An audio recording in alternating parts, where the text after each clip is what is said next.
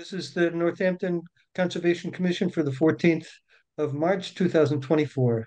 The commission is a group of unpaid volunteers who work to protect the natural environment of Northampton. We are concerned with the eight interests defined in the Massachusetts Wetlands Protection Act, and our duties also include open space acquisition and management. We operate in a way that's consistent with open meeting law requirements. All data, uh, meeting dates, times, and agendas are posted in advance, and we invite public comment during our meeting. However, we ask the public to limit their comments to issues that are within our purview.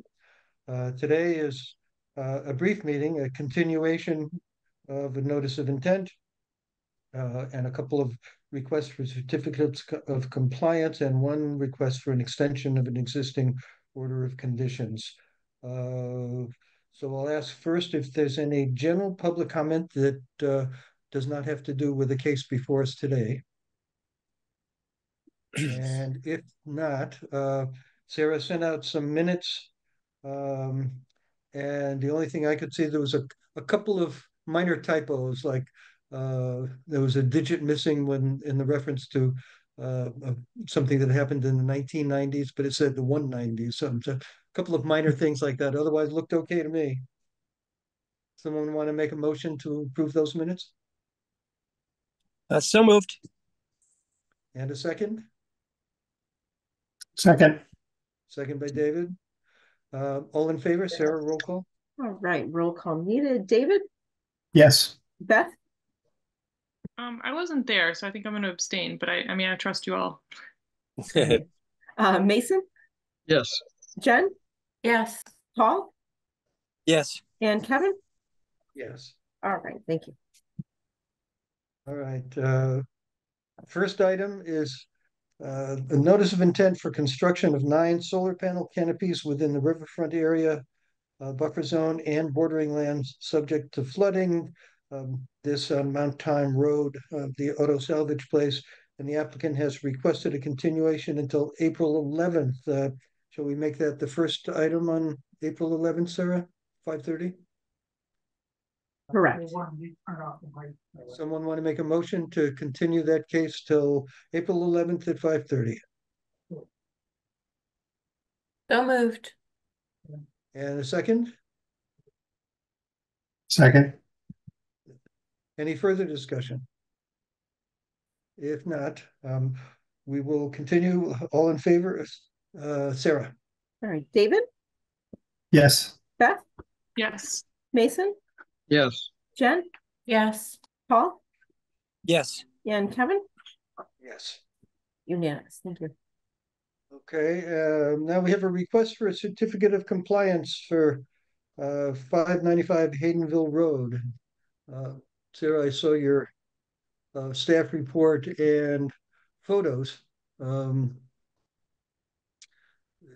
is there somebody that's going to address the commission on that, or uh, do you want to just say a few words, Sarah? Uh, so the the bridge itself looks great. Um, it's stabilized along the sides, but there's the there's large areas of riprap that weren't included in the the plan set. Um, and it, it appeared from what I could tell, although the river is a little bit high, that it uh, affected land underwater and bank, uh, and that those were impacts not quantified in the in the uh, notice of intent or the order. So I asked for some clarification from the applicant. Um, so you, you don't have to, there's no action needed, but I would just recommend not doing anything with it at this time until that's clarified. I remember that case. It was going to be difficult having the equipment in the roadway and excavating um, what needed to be excavated from there. So uh, they may have run into some issues that uh, we didn't know about at the time. But uh, uh so we don't need to make a, a, motion to continue that and wait. We'll just wait for them to come back. Correct. Yep. Okay. Um, and there was a uh, another request for a certificate of compliance. This on Turkey Hill Road. Uh, and I I know Rachel from Berkshire Design is here um, to talk about this one if she wants to give an overview. Sure. Can you hear me? Can you hear me? Um, i could start just by, you know, I, I did a site visit, everything stabilized, looks really good. I didn't see anything unanticipated. Um, we didn't get a full as-built for the, the entire project as a whole. So it was a little bit tough to get oriented in some spots, but the erosion control was installed at the, the limit of work line. Uh, and, and that was confirmed when we did the pre-construction visit and, and nothing has shifted since then. The, no work has crept beyond that area. Um, but if the commission does vote to issue a certificate of compliance, that erosion control should all be pulled immediately so it doesn't stay there. All right. Um. So, uh, someone want to make a, uh, well, first let me ask, is there any uh, comment or questions from the commissioners No. or from members of the public? It, wa- it was nice for a change to do a site visit for something that had been recently completed. We so often get so many requests for certificate of compliance for things done in the nineties. Where you're, you're really at a lost to figure out what happened and what's been going on, but this was a lot more straightforward. Wow. Good, good. So someone want to make a motion to grant uh, an order of conditions? So moved. And a second? I will. Paul? Any uh, further discussion? If not, all in favor? Right, so roll call, David, Muted. Yes. uh, Beth, Yes. Mason, Yes. Jen, Yes. Paul, Yes. and Kevin. Yes. Unanimous, thank you. And we have an extension um, on Atwood Drive, uh, a request for an extension because the uh, project has not been completed. Um, and Sarah included a description her- in her uh, staff report.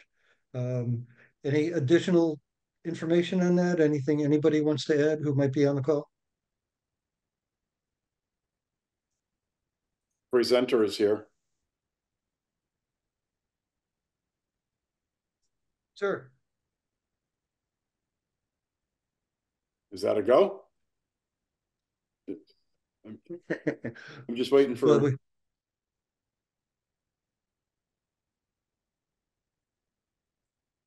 Um, hang on, I was just reading a uh, a chat that came through. Um, uh, but if no one is uh, going to speak additionally, uh, everybody has a chance to look at Sarah's uh, staff report. Um, and seems like the uh, to grant an order for up to three years. Is there any reason to do it for less than three years, Sarah? Uh, Travis, did you, did you want to talk about the, the issues with completion of the project and, and stuff you'd run into? I, it, I didn't see any issues with, uh, continuing this to allow the, both the compensatory storage and the stormwater to be tied into the second phase of the development. But otherwise, the, the permitting is really complicated. I could give him a quick update on where we are. Okay. I, I, I thank you. Um, I'm Travis Ward, Development Associates Managing Agent for, um, for Northwood Development. And, um, the Atwood Drive projects, fifteen Atwood is the building that's currently there now. Um, we, um, got a CO, uh, in early twenty nineteen for that, uh, for the shell. Then continually over the last several years built out, um, the spaces within the building. And we have one space left to be built out, fully rented. But uh, Cooley Dickinson, because of uh, COVID factors, um, decided to hold off on building out um, the the space. Um, so they pay for it, they they have it. Um, but COVID is uh, where I'm going to lead with the second building. It affected the last unit uh, with the first building. Now the second building, uh, we were planning on you know doing one right after the other. Uh, this thing called COVID happened, and um, what happened, especially in the medical industry, is that, um, and some of us, your life experiences will confirm, was that um, some of the older, seasoned, um, wealth of knowledge type people in the industry um, kind of said, "Hey, I'm I've had enough years in here. I'm I'm going to retire or move on." And at the same time, there was uh, a lot of uh, young people, college people, uh, not coming up and graduating and getting into the field. So there's that hold um, where um, the industry as a whole um, didn't have a lot of staffing, didn't have a lot of uh, reason financially or uh, staffing wise to move forward with the projects, and that affected 33 Atwood. We're at a stage now where that pipeline's being filled, talking to our uh, major clients um, that we feel that we're in some of the other um, some state agencies, for example, that uh, we see some potential for that building to really start moving forward now. Uh, we're entertaining several lease proposals that may give that some life in the very near future, but certainly not going to sit there for too much longer. Uh, what we basically need in that um, area is about 30, 30 to 40% pre-lease, and that'll allow us to move the project forward. And, and as I said, um, the labor pipeline in the medical industry is starting to be fulfilled a little bit. Uh, some of the government agencies that we work with um, have some significant needs in the area, especially in the Northampton community. So um, we feel that you know um, we hopefully will be able to take uh, shape on the second project in the not too distant future. No exact timelines, but um, things are looking more positive than they have in the last uh, two years coming out of COVID. So with that, we just request an extension. We have maintained the property. We worked with Sarah earlier in the year um, to clarify this exact process. Is it for the whole project or is it phase by phase?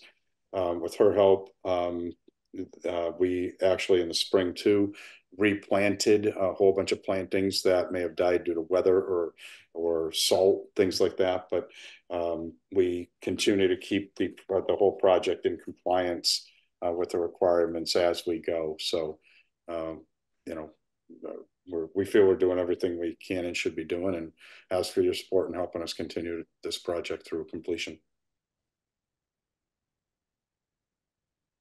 Any questions or comments from commissioners?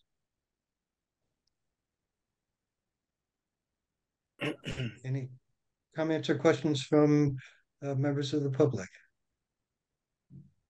Sarah did point out that it seemed like it had been challenging to have the plantings endure and that by the time a, an eventual uh, certificate of compliance is issued, the plantings will uh, will have to comply with uh, the, the plans. Um, but uh, other than that, seems uh, reasonable to ex uh, extend. So I'll, I'll, repeat my earlier question. Is there any reason to do it for less than three years? Uh, normally we just re-up for three years, but um, we can do less. Uh, probably not just because of the administrative issues. The, the building hasn't been started, so there, there is still some significant work to be done. So still could be done in less time than that, but just providing the full three years seems like it makes sense. Then, uh, someone want to make a motion to uh, grant that extension of the existing order of conditions for Atwood Drive? We'll move. Moved by Second. Mason and a second by Jen. Second, All in favor? Uh, Sarah, roll call? Uh, David, Yes. Beth, Yes. Mason, Yes. Jen, yes, Paul, Yes. and Kevin?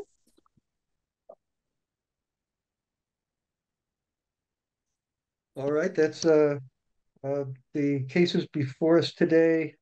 Um, Sarah, on the agenda, you want to do a, a quick CPA update about which uh, which items uh, that the C CPC is considering are uh, are ours, uh, things Sure. that have to do with the Sure. Conservation Commission. Um, so I just wanted to let everyone know that the uh, Office of Planning and Sustainability uh, submitted an application for continuation of the local APR program. And this was first funded, I think, about ten years ago, which allowed both for um, the local match for state and federal APRs, as well as contributions towards local APRs in instances where the the development value or the size of the property or the, the um, prime farmland soils didn't support the federal program. Um, so we do have some potential properties in the works, so it seemed like a good time to get that going again. All right. And I don't have my CPC uh, list in front of me, but there was uh, two other um, CPC funding requests coming that addressed uh, conservation uh, areas. Oh, there was, um, it, the ones not submitted by the city? So there was the, the Lathrop community's request to continue their invasives removal program, um, on a, a property on, on which a CR is held by the Conservation Commission, uh, so that will allow them to continue all the, the good work that they've come in for permitting, um, for periodically, and then there wasn't, no Uh, planned acquisitions at this point. It's been quiet, although there's a lot of things in the works, so hopefully we'll have more on that soon. Okay, all right. Um, any other uh, business? Uh, Other business from me, I wanted to let you know that the uh Agricultural Commission has invited the Conscom to join them on their annual tour of farmland properties. So all of these are properties on which the uh the Conservation Commission is is involved in some way, either by holding the property or a CR or an APR involvement in some way, but uh the commission several years ago decided that this wasn't really part of their core mission to select and work with farmers on a, an ongoing basis, so assign that to the AgCom. Uh, so that the AgCom would love it if you could join them, uh, to visit probably the, the Ricasas farm, uh, which is, um, near the Hatfield line, a fairly recent acquisition. Uh, the, uh, the Henry Parsons Farm, which is the Mineral Hills.